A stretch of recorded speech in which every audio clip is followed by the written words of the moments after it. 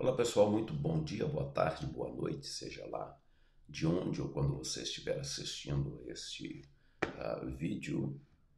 E, já estamos depois de uma caminhada matinal, um momento de reflexão dos dias que estamos vivendo, tempo que nós estamos vivendo, chegamos a uma conclusão de que realmente estamos para inaugurar uma nova era já muito se fala dessa nova era, uma nova ordem mundial, nova era mundial, etc. Eu me lembro que a primeira vez que eu vi uh, falar em nova era foi em 1981.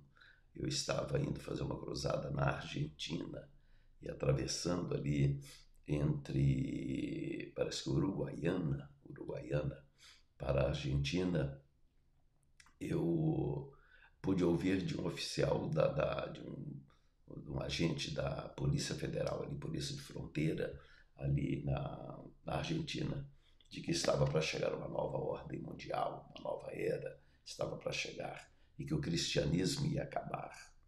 Então veja que não é de hoje, senhoras e senhores, esta, este projeto para destruir o cristianismo. 1981, esse projeto já estava avançado.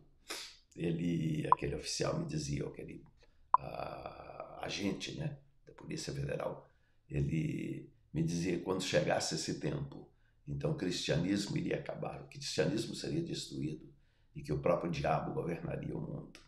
Bem, em parte ele estava certo, porque a Bíblia diz que o mundo jaz no maligno, e não só isso, que a Bíblia diz que o mundo jaz no maligno, mas a Bíblia diz que haverá um tempo também, um curto período de tempo, em que a, Satanás estará com a sua trindade maligna, né?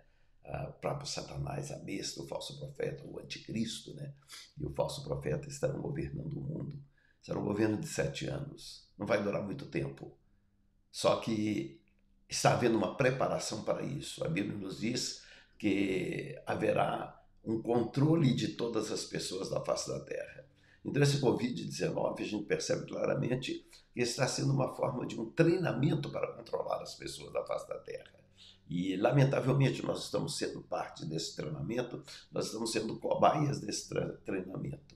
A única diferença que há é que parte dessas pessoas envolvidas no treinamento, ah, nós não estaremos aqui quando o anticristo ah, for governar, porque Cristo vai arrebatar a igreja. Mas, enquanto isso, nós devemos estar atentos para os fatos que estão a acontecer, para as coisas que se passam à nossa volta, ao nosso redor. O que está a acontecer aqui, meus irmãos, senhoras e senhores, o que está a acontecer é realmente um plano diabólico de domínio das, das pessoas. Veja que ah, quando a gente vai caminhando pelas ruas, vê as pessoas de máscara, né?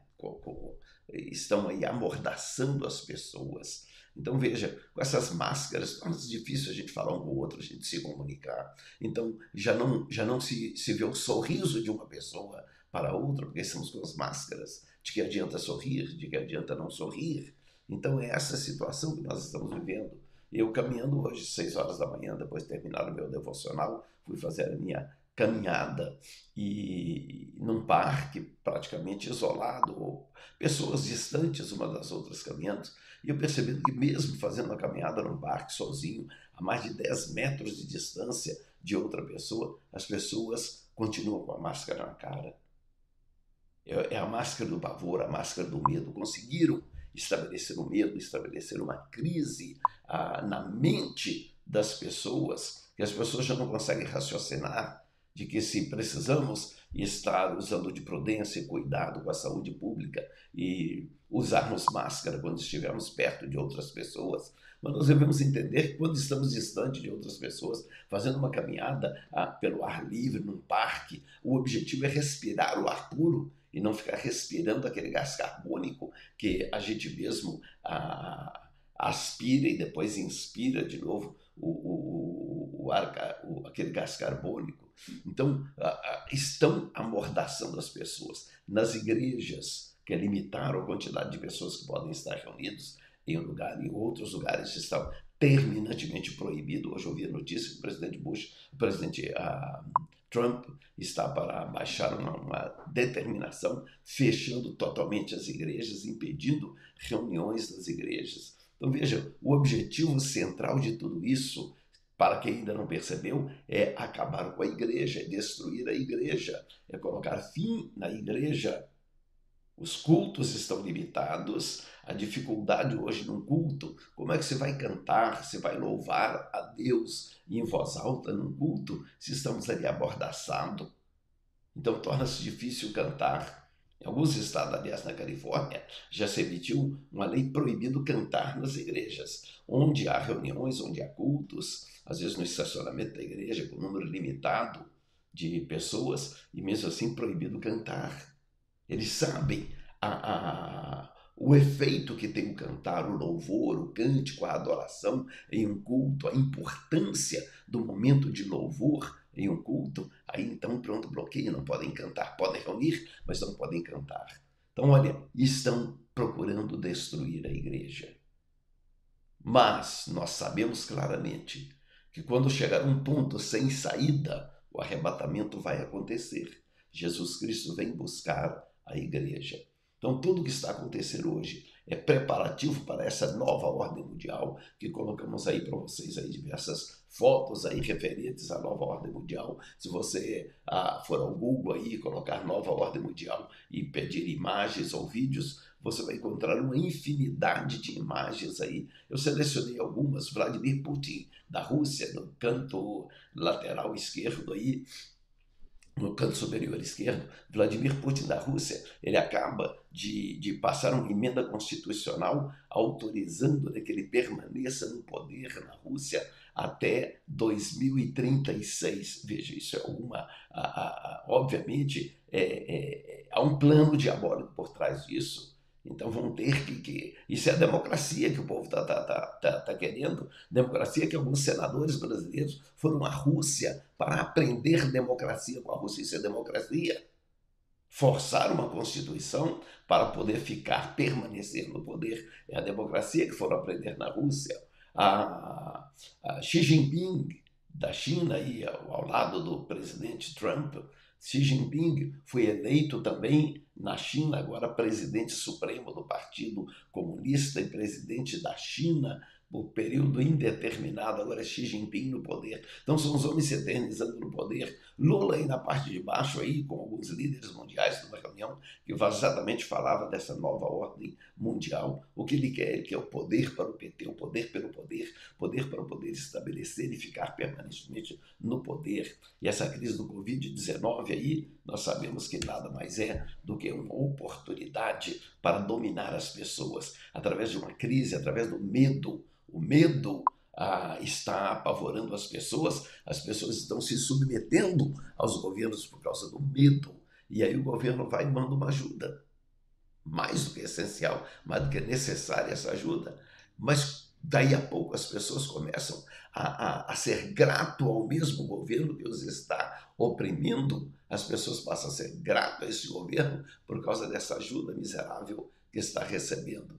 Então veja a situação que nós estamos vivendo, caminhando para uma nova ordem mundial, caminhando para um final. Mas eu quero dizer aos crentes: nós não estamos aqui para viver com medo.